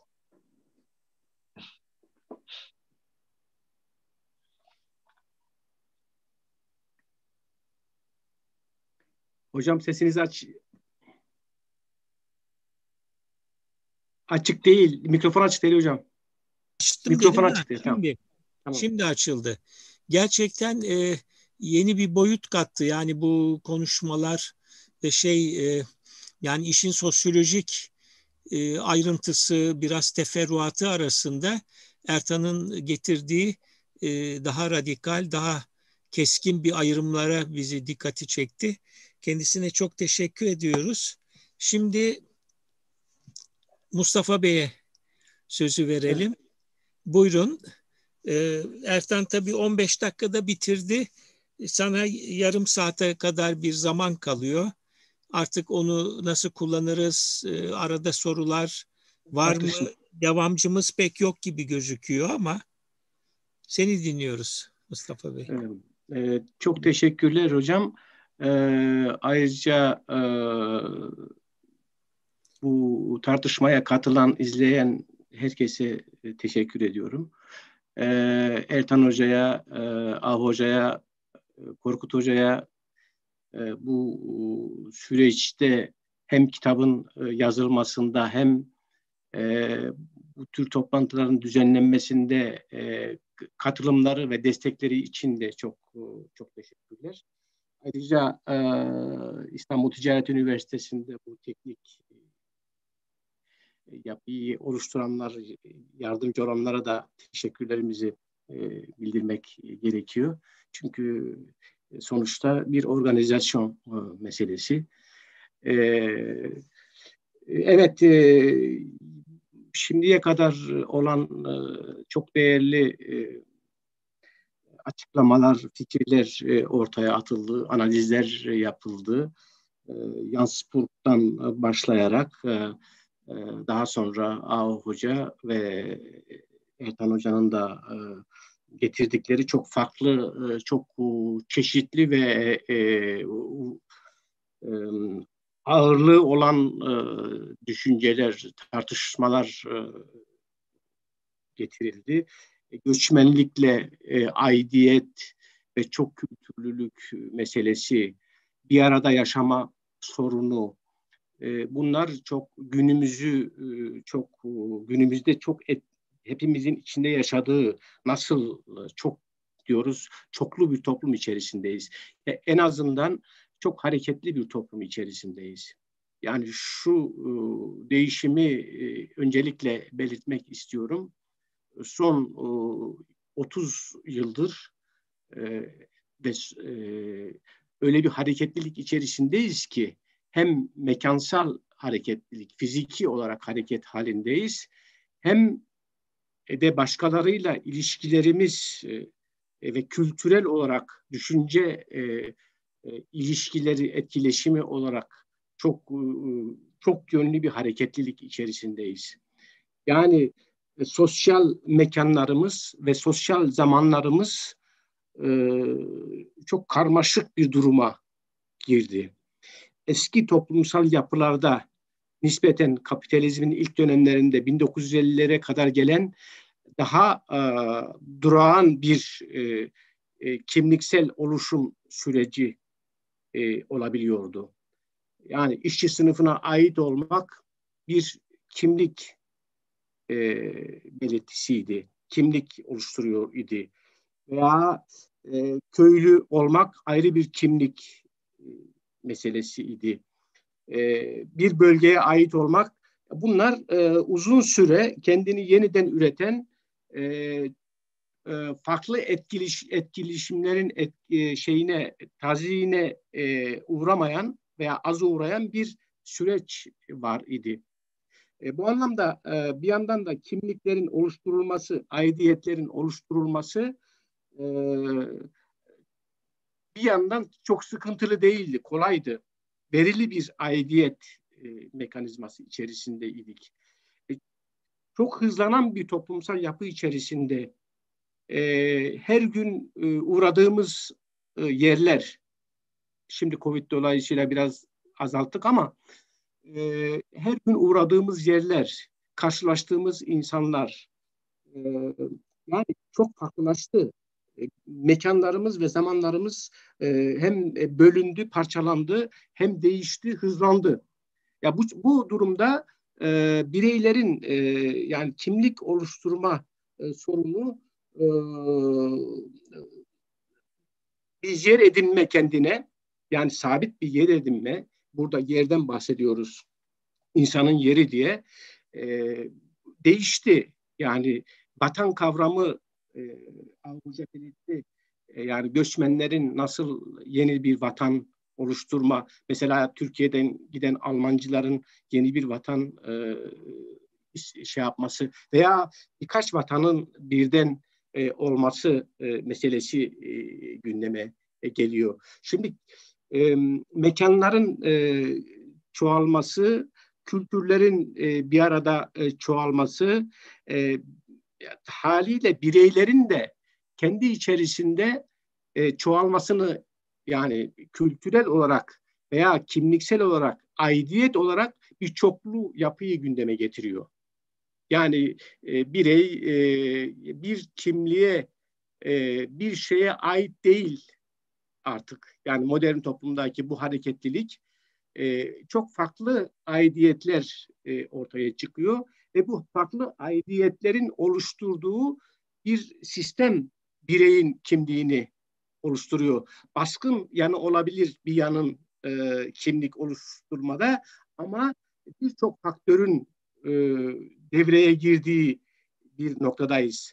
Mesela bir mutfağı düşünelim. Mutfakta e, geleneksel e, diyelim bölge mutfağı yapılırken şimdi e, uluslararası mutfağın bütün faktörleri bizim mutfağımıza girdiği zaman bizim mutfağımız aynı gibi olsa da e, dışarıdan gelen elemanlarla mutfağımızın şeyi değişiyor. Yani içeriği değişiyor. Çoklu bir yapı oluşturuyor. Şimdi bu çoklu yapı illa da bireyin e, içerisinde e, sürekli çelişki vardır zaten.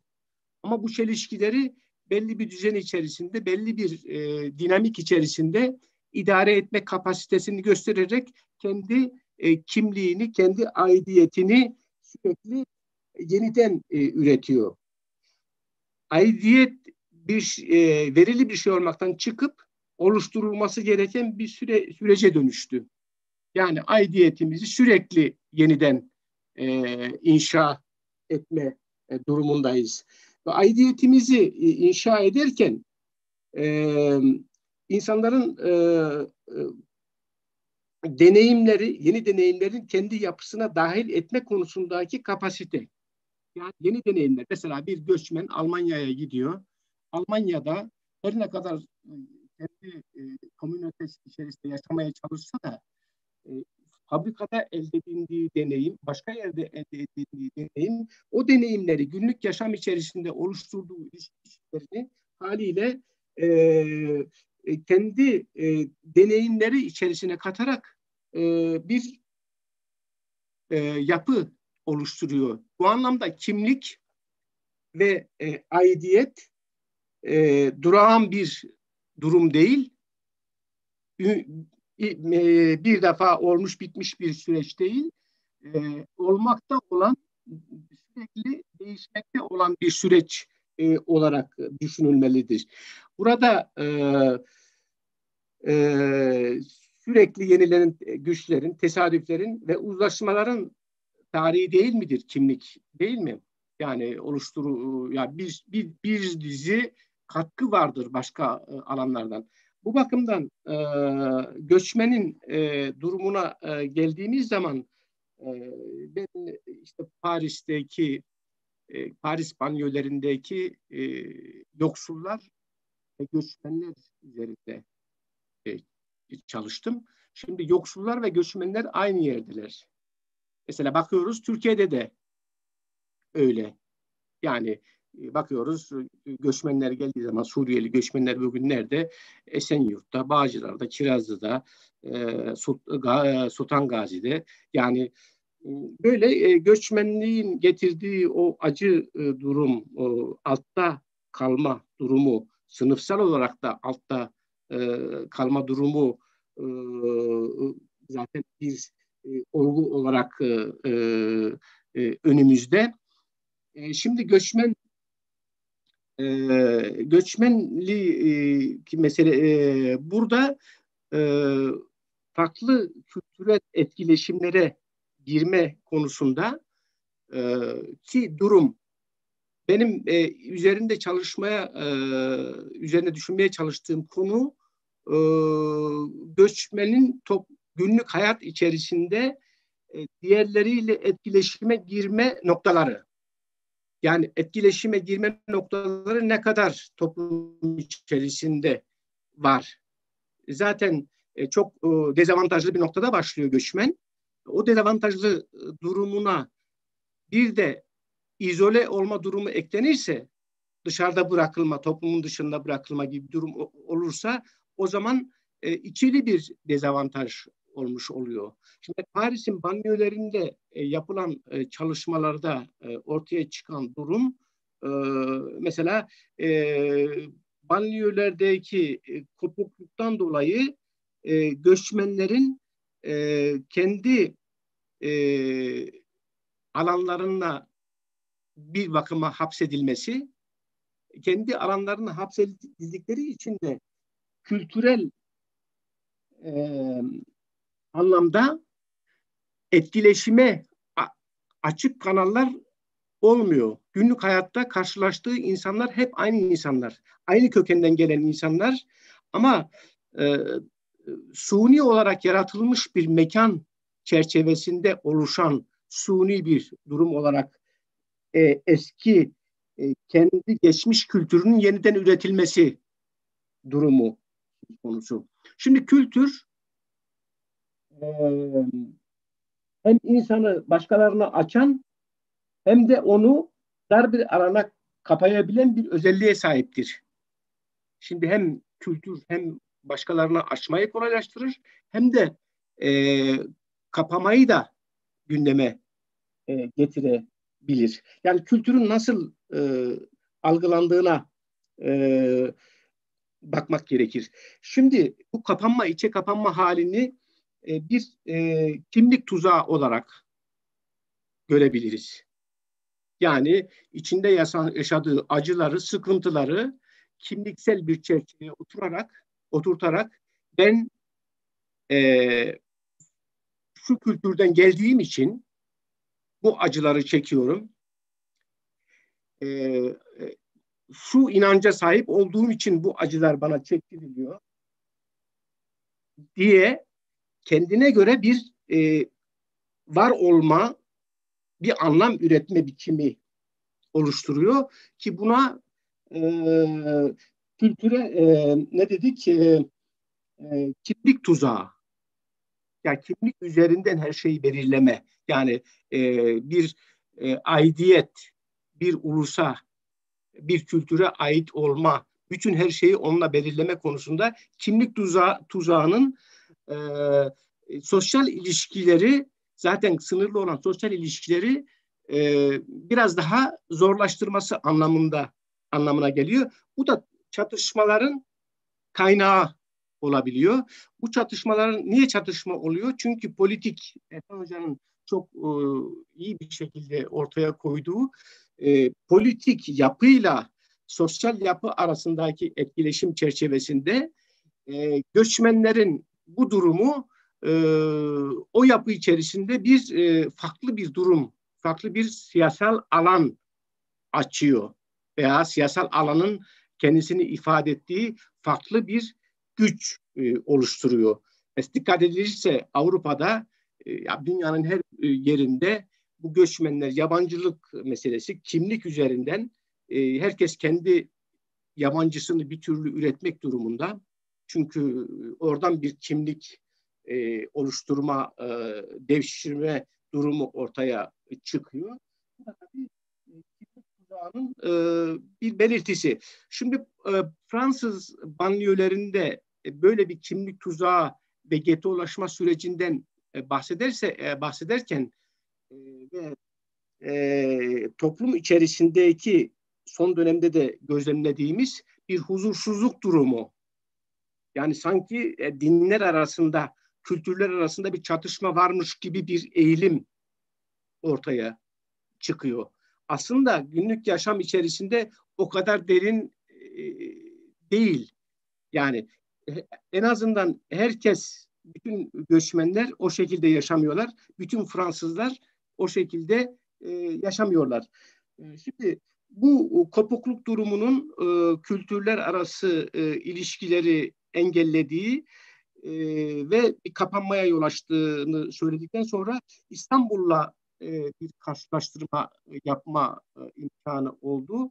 E, İstanbul'da yerleşen göçmenlerin kimlik oluşturma e, çerçeveleri e, veya süreçleri e, kendi kimliklerini yaşama. Çünkü biliyoruz ki e, bütün gruplar, insan grupları kendi e, alışkanlıkları, değerleri ve e, değerleriyle birlikte bir anlam oluşturma mekanizması oluştururlar. Daha sonra başkalarıyla ilişkide başka anlamlar oluşturma noktasına gelirler. Bunun için e, benim e, kalkış noktalarından birisi mekan sorunu.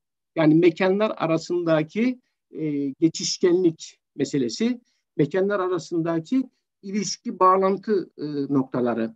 E, e, İstanbul'daki ve Türkiye'deki şehir kültürü, e, şehri yeniden üretme kültürü bir yanıyla her ne kadar betonlaştırma olarak gözümüzün önünde dursa da diğer yanıyla da e, e, betonların içerisinde e, o şehir alanlarında e, kısıtlı olan şehir alanlarında sosyal ilişkileri üreten e, birbirine bağlı mekanlar var. Çok ciddi mekanlar mekanlar e, üretiliyor.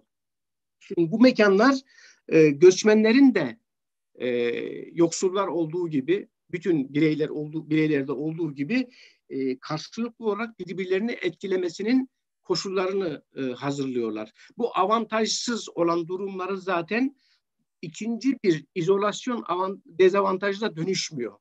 Böyle bir e, daha e, yoksulluk durumlarını engellemese de toplum içerisinde belli imkanları oluşturma durumu e, ortaya çıkıyor. Şimdi burada e, e, çok da fazla e, uzatmak istemiyorum. E, zaman da e, bilmiyorum hocam nasıl e, zaman açısından. Evet sorular, yani 10 dakikamız var. Sorular. E, bunda iyi bir yere geldi zaten. Evet. E, bu yaklaşımımızla. Bir evet. de soru var. Evet. Cem Mezarcı soru sormuş. Hocam diyor 19. ve 20. yüzyıllarda göçmenlere karşı izlenen politika 21. yüzyılda izlenen politikaya göre daha mı ılımlı ve zamanla bu politikalar daha mı sert olacak diyor. Bilmiyorum hocalarından e, şimdi e, göçmenlere e, 19. ve 20 zaten e, uluslararası göç 20. yüzyılda esas göç Amerika'ya doğru olan göç e, büyük göç olarak kabul ediliyor. E, tabii o zamanki toplumsal yapının e, şiddet ortamının durumu, e, yani bu farklı e, her e, durumda ayrı bir ayrı bir çok geniş bir soru aslında. Evet. hangi durumda, bölge, hangi yer? Tamam hangi yer? Hangi, mesela bazı durumlar var çok çelişkili, çok acılı göçler var, sürgünler var, işgaller var, sömürgecilik politikaları var ee, mesela e,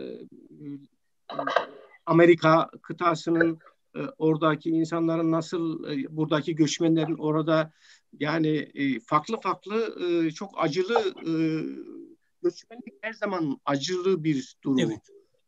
Yani bu zaten göçmenin zaten geri dönüşü de yok. Yani geri dönüştüğünde ben kitapta onun üzerinde de durdum. Yani göçmenin e, vatan meselesinde koptuktan sonra köklerinden koptuktan sonra geri dönme halinde bile e, e, orada e, çok büyük bir e, eve dönem diye bir makale oradan bir alıntı yapmıştım. E, yani e, çok daha büyük acılarla karşılaşma durumu var döndüğünde. Kendi yani, yurdunda kendisi yabancı oluyor bu sefer. Çünkü e, e, kafasında e, kurduğu dünya, memleket, vatan e, yani e, geldiğinde çok farklı bir biçimde kendisini empoze ettiği zaman e, ilk yaşadığı göcün acılarından çok daha farklı bir acı e, içerisinde e, olabiliyor. Şimdi bu şöyle mesela e, diyelim ki 1900 50'lerdeki göçle 60'lardaki göçle şimdikini karşılaştırdığımızda şimdi göçmenin e, bir yandan yeni teknolojiyle birlikte e, etrafıyla, çevresindeki insanlarla ilişki kurma ağı çok basit. Telefonla en azından görüşerek, görüntülü. Yani o şeyini giderme. Bu hasretlik dediğimiz şey vardır. Hasretlik, vatan hasretliği konusu. Bu kavram e, çok değişti. Ya çünkü her gün herkes görebiliyor. Yani çevresini görüyor e, görüntülü olarak.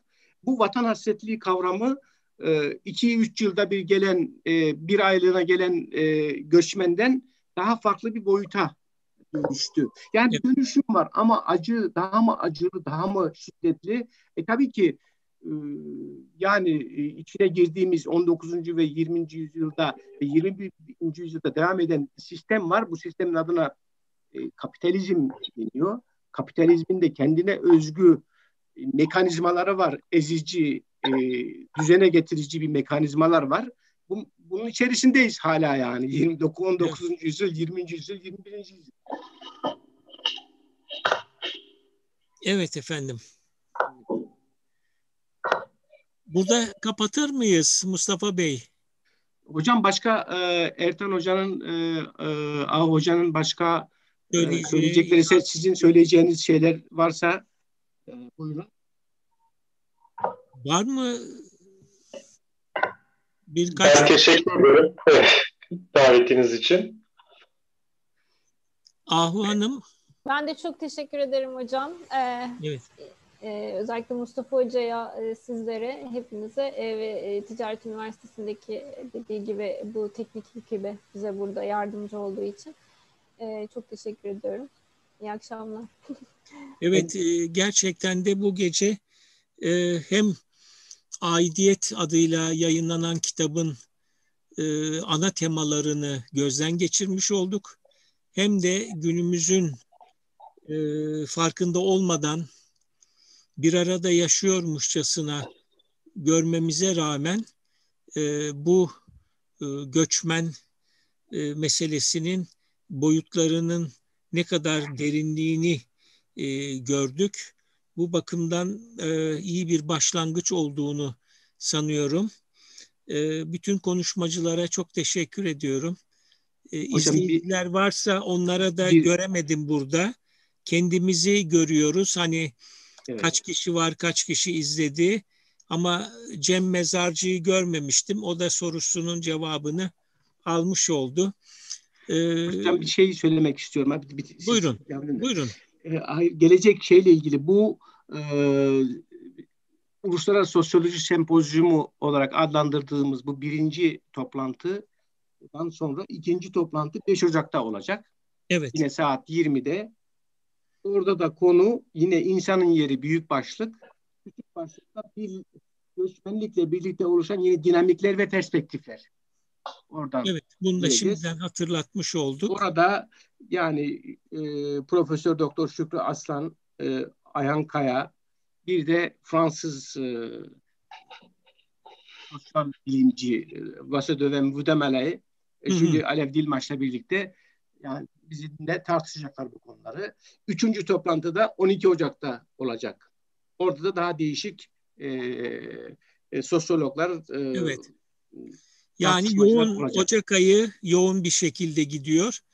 Ee, bu bakımdan sizlere çok teşekkür ediyorum katkılarınız dolayısıyla ve e, sosyoloji bölümümüz adına yürütülen bu faaliyetler adına e, çok teşekkür ediyorum. Umarım e, izleyiciler de memnun kalmışlardır. E, bu vesileyle katılanlara da izleyenlere de iyi geceler diliyorum. E, o zaman öbür toplantıda görüşmek üzere. Hepinize ayrı ayrı çok teşekkür ediyorum. Hakikaten güzel bir toplantı oldu. Günümüzün meselelerine uygun bir toplantı oldu. Ee, ve e, meselenin e, değişik boyutlarıyla ele alınması, e, farklı hocaların yaklaşımlarıyla bu konuyu enine boyuna ele aldığımıza inanıyorum. Efendim iyi akşamlar diliyorum. Sağ olun, var olun. Görüşmek üzere. İkinci toplantıda görüşmek üzere. Evet, iyi akşamlar hocam. İyi akşamlar. İyi akşamlar.